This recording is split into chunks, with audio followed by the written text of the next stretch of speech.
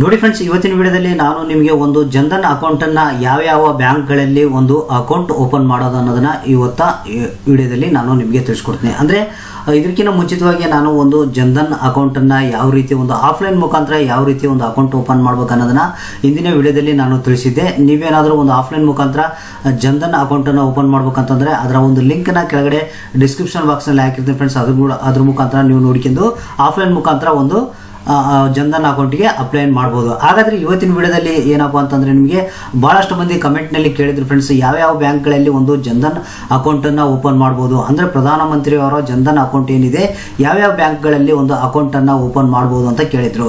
ಅಂದರೆ ಏನು zero account ಅಂತಾರಲ್ಲ ಫ್ರೆಂಡ್ಸ್ ಆ ಒಂದು ಪ್ರಧಾನಮಂತ್ರಿ ಅವರ ಒಂದು ಜೀರೋ ಅಕೌಂಟನ್ನು ಯಾವ್ಯಾವ ಬ್ಯಾಂಕ್ಗಳಲ್ಲಿ ಇವತ್ತು ಒಂದು ಅಕೌಂಟನ್ನು ಓಪನ್ ಮಾಡ್ಬೋದು?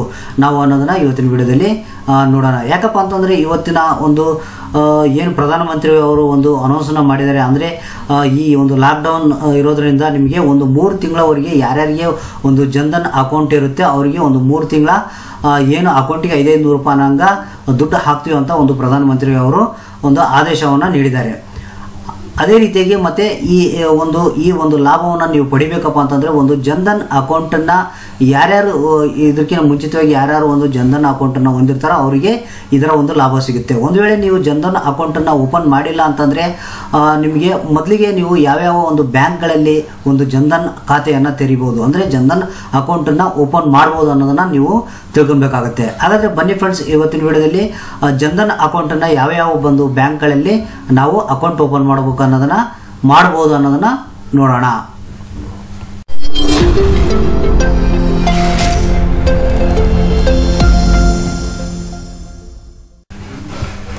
ನೋಡಿ ಫ್ರೆಂಡ್ಸ್ ಇದೊಂದು ಸಣ್ಣ ಮಾಹಿತಿ. ಆದಷ್ಟು ಏನಂದ್ರೆ ನಿಮಗೆ ಭಾಳಷ್ಟು ಜನಕ್ಕೆ ಗೊತ್ತಿರೋದಿಲ್ಲ ಫ್ರೆಂಡ್ಸ್ ಒಂದು ಯಾವ ಬ್ಯಾಂಕ್ನಲ್ಲಿ ಒಂದು ಅಕೌಂಟ್ ಓಪನ್ ಮಾಡಬೇಕು, ಎಷ್ಟು ಬ್ಯಾಂಕ್ಗಳಲ್ಲಿ ನಾವು ಅಕೌಂಟ್ ಓಪನ್ನ ಮಾಡ್ಬೋದು. ಅಂದರೆ ಭಾಳಷ್ಟು ಜನಕ್ಕೆ ಗೊತ್ತಿರೋದಲ್ಲ. ಕೆಲವರು ಏನು ಅನ್ಕೊಂಡಿರ್ತಾರೆ, ಬರೀ ಗೌರ್ಮೆಂಟ್ ಬ್ಯಾಂಕ್ಗಳಲ್ಲಿ ಎಸ್ ಬಿ ಐ ಅಂಥ ಬ್ಯಾಂಕ್ಗಳಲ್ಲಿ ಮಾತ್ರ ಮಾಡ್ತಾರೆ ಏನೋ ಅನ್ಕೊಂಡಿರ್ತಾರೆ.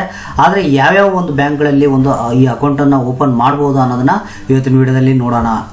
ನೋಡಿ ಫ್ರೆಂಡ್ಸ್ ಸಿಂಪಲ್ ಆಗಿ ನೀವು ಒಂದು, ನಿಮ್ಮ ಒಂದು ಮೊಬೈಲ್ನಲ್ಲಿ ಆದರೂ ಕೂಡ ನೋಡ್ಬೋದು ಅಥವಾ ಒಂದು ಡೆಸ್ಕ್ಟಾಪ್ ಇತ್ತಪ್ಪ ಅಂತಂದರೆ ನಿಮಗೆ ಅದ್ರ ಮುಖಾಂತರ ಕೂಡ ನೀವು ಇಲ್ಲಿ ಚೆಕ್ ಮಾಡ್ಬೋದು.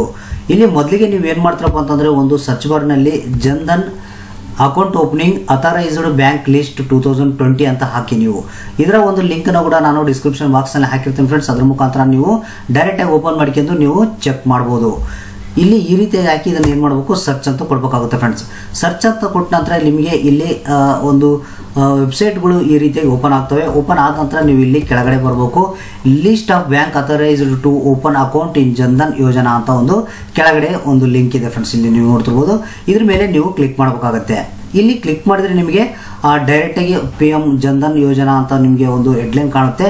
ಇಲ್ಲಿ list of bank authorities to open account in Jan Dhan Yojana scheme ಅಂತ ಇದೆ. ಅಂದರೆ ಯಾವ್ಯಾವ ಬ್ಯಾಂಕ್ಗಳಲ್ಲಿ ಒಂದು ಜನ್ಧನ್ ಅಕೌಂಟನ್ನು ಓಪನ್ ಮಾಡ್ಬೋದು ಅಂತ ನಿಮಗೆ ಇಲ್ಲಿ ತೋರಿಸ್ತಾ ಇದೆ. ಅಂದರೆ ಇಲ್ಲಿ ನೀವು ಕೆಳಗಡೆ ಬರಬೇಕಾಗುತ್ತೆ ಫ್ರೆಂಡ್ಸ್ ನೀವು ಕೆಳಗಡೆ ಬಂದರೆ ಇಲ್ಲಿ ನೀವು ನೋಡ್ತಿರ್ಬೋದು there are two there are twenty seven public sector banks in India and at all these banks you can open Jan Dhan Yojana account ಅಂತ ಇದೆ ನೋಡಿ ಫ್ರೆಂಡ್ಸ್ ಇಲ್ಲಿ ಅಂದರೆ ಇಪ್ಪತ್ತೇಳು ಬ್ಯಾಂಕ್ಗಳು ನಿಮಗೆ ಒಂದು ಟೋಟಲ್ ಇಂಡಿಯಾದಲ್ಲಿ ಒಂದು ಏನು ಏನು ಜನ್ಧನ್ ಅಕೌಂಟನ್ನು ನೀವು ಓಪನ್ ಮಾಡ್ಬೋದು ಅಂತ ಇಲ್ಲಿ ಹೇಳ್ತಿದ್ದಾರೆ.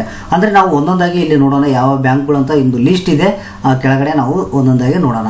ಇಲ್ಲಿ ನಾವು ಮೊದಲೇದಾಗಿ ನಾವು ನೋಡೋದಾಯ್ತಪ್ಪ ಅಂತಂದರೆ ಅಲಾ, ಅಲಹಾಬಾದ್ ಬ್ಯಾಂಕ್ನಲ್ಲಿ ನಾವು ಒಂದು ಜನ್ಧನ್ ಅಕೌಂಟ್ನ ಓಪನ್ ಮಾಡ್ಬೋದು ಅದೇ ರೀತಿಗೆ ಆಂಧ್ರ ಬ್ಯಾಂಕು, ಮತ್ತು ಬ್ಯಾಂಕ್ ಆಫ್ ಬರೋಡಾ, ಮತ್ತು ಬ್ಯಾಂಕ್ ಆಫ್ ಇಂಡಿಯಾ, ಮತ್ತು ಬ್ಯಾಂಕ್ ಆಫ್ ಮಹಾರಾಷ್ಟ್ರ, ಮತ್ತು ಅದೇ ರೀತಿಯಾಗಿ ಬರ್ಟಿಯ ಮಹಿಳಾ ಬ್ಯಾಂಕ್ ಅಂತ ಫ್ರೆಂಡ್ಸ್ ನಿಮಗೆ. ಮತ್ತು ಅದೇ ರೀತಿ ಕೆನರಾ ಬ್ಯಾಂಕ್ ಅಂತ, ಮತ್ತು ಸೆಂಟ್ರಲ್ ಬ್ಯಾಂಕ್ ಆಫ್ ಇಂಡಿಯಾ, ಮತ್ತು ಕಾರ್ಪೊರೇಷನ್ ಬ್ಯಾಂಕ್, ಮತ್ತು ದೀನಾ ಬ್ಯಾಂಕ್. ಇಲ್ಲಿ ಮತ್ತೆ ಕೆಳಗಡೆ ಬಂದರೆ ನಿಮಗೆ I D B I bank ಅಂತ ಇದೆ, ಮತ್ತು ಇಂಡಿಯನ್ ಬ್ಯಾಂಕ್ ಅಂತ ಇದೆ ಓರಿಯೆಂಟಲ್ ಬ್ಯಾಂಕ್ ಆಫ್ ಕಾಮರ್ಸ್, ಮತ್ತು ಪಂಜಾಬ್ ನ್ಯಾಷನಲ್ ಬ್ಯಾಂಕ್, ಅಂದರೆ ಪಿ ಪಿ ಎನ್ ಬಿ ಅಂತಾರಲ್ಲ ಫ್ರೆಂಡ್ಸ್ ಅದು, ಮತ್ತು ಪಂಜಾಬ್ ಆ್ಯಂಡ್ ಸಿಂಧ್ ಬ್ಯಾಂಕ್ ಅಂತ. ಮತ್ತು ಕೆಳಗೆ ನಾವು ನೋಡೋದಾಯ್ತಪ್ಪ ಅಂತಂದರೆ ಸ್ಟೇಟ್ ಬ್ಯಾಂಕ್ ಆಫ್ ಇಂಡಿಯಾ, ಅದರಲ್ಲಿ ನಿಮಗೆ ಫೈವ್ ಬ್ಯಾಂಕ್ಸ್ ನಿಮಗೆ ಮರ್ಜ್ ಆಗಿದಾವೆ ಫ್ರೆಂಡ್ಸ್ ಎಸ್ ಬಿ ಐನಲ್ಲಿ ಅದರಲ್ಲಿ ನಾವು ನೋಡೋದಾಯ್ತಪ್ಪ ಅಂತಂದರೆ state bank of Bikaner and Jaipur state bank of Hyderabad ಮತ್ತು ಸ್ಟೇಟ್ ಬ್ಯಾಂಕ್ ಆಫ್ ಮೈಸೂರು ಮತ್ತು ಸ್ಟೇಟ್ ಬ್ಯಾಂಕ್ ಆಫ್ ಪಟೇಲ ಮತ್ತು ಸ್ಟೇಟ್ ಬ್ಯಾಂಕ್ ಆಫ್ ಟ್ರಾವನ್ಕೋರ್ ಅಂತ. ಇವು ಐದು ಇದರಲ್ಲಿ ಒಂದು ಸ್ಟೇಟ್ ಬ್ಯಾಂಕ್ ಆಫ್ನಲ್ಲಿ ಮರ್ಜ್ ಆಗಿದ್ದಾವೆ ಅದೇ ರೀತಿಯಾಗಿ ಮತ್ತೆ ಕೆಳಗಡೆ ನೋಡೋದಾಯ್ತಪ್ಪ ಅಂತಂದರೆ ಸಿಂಡಿಕೇಟ್ ಬ್ಯಾಂಕ್ ಮತ್ತು ಯೂನಿಯನ್ ಬ್ಯಾಂಕ್ ಮತ್ತು ವಿಜಯ ಬ್ಯಾಂಕ್ ಇವೆಲ್ಲ ನಿಮಗೆ ಒಂದು ಅಥರೈಸ್ಡ್ ಬ್ಯಾಂಕ್ ಅಂದರೆ ಈ ಒಂದು ಅಥರೈಸ್ಡ್ ಬ್ಯಾಂಕ್ಗಳಲ್ಲಿ ನೀವು ಜನ್ಧನ್ ಖಾತೆಯನ್ನು ನೀವು ಓಪನ್ ಮಾಡ್ಬೋದು.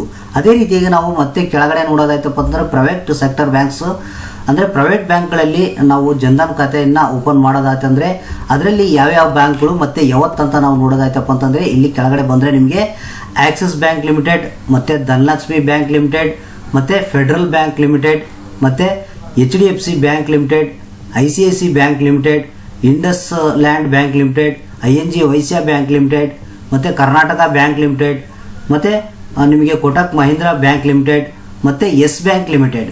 ಇಷ್ಟು ಬ್ಯಾಂಕ್ಗಳಲ್ಲಿ ನಿಮಗೆ, ಅಂದರೆ ಇಲ್ಲಿ ನೀವು ನೋಡ್ತಿರ್ಬೋದು ಗೌರ್ ಕೆಳಗಡೆ ಒಂದು ಮಾಹಿತಿಯನ್ನು ಕೊಟ್ಟಿದ್ದಾನೆ, ಅಂದರೆ ಈ ಪ್ರೈವೇಟ್ ಸೆಕ್ಟರ್ ಬ್ಯಾಂಕ್ಗಳಲ್ಲಿ ಏನು ಸಾಟರ್ಡೆ ಮಾತ್ರ ನಿಮಗೆ ಬೆಳಗ್ಗೆ ಎಂಟರಿಂದ ರಾತ್ರಿ ಎಂಟು ಗಂಟೆವರೆಗೆ ಈ ಅಕೌಂಟನ್ನು ಓಪನ್ ಮಾಡೋಕ್ಕೆ ಅಂದರೆ ಪ್ರಮೋಟ್ ಮಾಡೋಕ್ಕೆ ಒಂದು ಚಾನ್ಸಸ್ನ ಕೊಟ್ಟಿದ್ದಾರೆ. ಅಂದರೆ ಸ್ಯಾಟರ್ಡೆ ಮಾತ್ರ ನಿಮಗೆ ಇಲ್ಲಿ ಈ ಪ್ರೈವೇಟ್ ಬ್ಯಾಂಕ್ಗಳಲ್ಲಿ ನೀವು ಜನ್ಧನ್ ಖಾತೆಯನ್ನು ನೀವು ತೆರಿಬೋದು. ಇಷ್ಟು ನಿಮಗೆ ಒಂದು ಏನು ಪ್ರೈವೇಟ್ ಸೆಕ್ಟರ್ ಆಗಿರ್ಬೋದು ಮತ್ತು ಅಥರೈಸ್ಡ್ ಬ್ಯಾಂಕ್ಗಳು ಆಗಿರ್ಬೋದು. ಈ ಎಲ್ಲ ಒಂದು ಬ್ಯಾಂಕ್ಗಳಲ್ಲಿ ನಿಮಗೆ ಒಂದು ಪ್ರಧಾನಮಂತ್ರಿಗೆ ಸಂಬಂಧಪಟ್ಟಂಥ ಒಂದು ಜನ್ಧನ್ ಖಾತೆ ಏನಿದೆ, ಆ ಒಂದು ಖಾತೆಗೆ ನೀವು ಅಕೌಂಟನ್ನು ಈ ಬ್ಯಾಂಕ್ಗಳಲ್ಲಿ ನೀವು ಮಾಡ್ಬೋದು. ಈ ವಿಡಿಯೋ ಲೈಕ್ ಆಗಿರ್ತದೆ ಅಂತ ಅನ್ಕೊಂಡಿನಿ ಫ್ರೆಂಡ್ಸ್ ಲೈಕ್ ಆಗಿತ್ತಪ್ಪ ಅಂತಂದರೆ ನಿಮ್ಮ ಎಲ್ಲ ಫ್ರೆಂಡ್ಸ್ಗಳಿಗೆ ಮತ್ತು ನಿಮ್ಮ ಎಲ್ಲ ರಿಲೇಟಿವ್ಗಳಿಗೆ ಈ ವಿಡಿಯೋನ ತಪ್ಪದೇ ಶೇರ್ ಮಾಡಿ ಫ್ರೆಂಡ್ಸ್